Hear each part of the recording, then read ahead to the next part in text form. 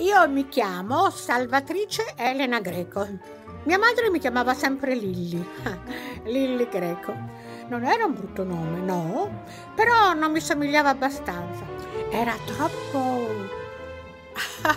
troppo leggero. Era dolce, sì, anche allegro, ma io non sono solo dolce e allegra, no. Sono anche forte, determinata e senza paura.